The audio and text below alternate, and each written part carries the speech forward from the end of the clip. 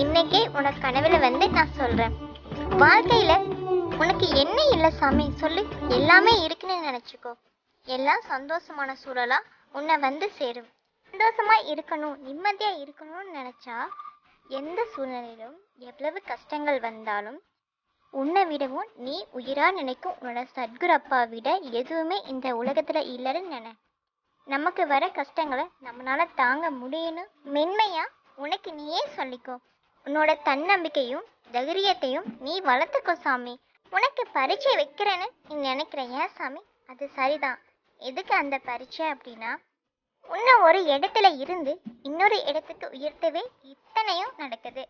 உன்னோட சோதனைகள் எல்லாம் ஒரு அனுபவம் மாதிரி உன் வலிமையான எதிர்காலத்துக்கு அடித்தளமா ஆக போகுது. அதுக்காக எவ்வளவு காலம்தான் சத்குரப்பா இந்த சோதனையை தாங்குறதுன்னு நீ நினைக்கிறதே சரிதான் சாமி.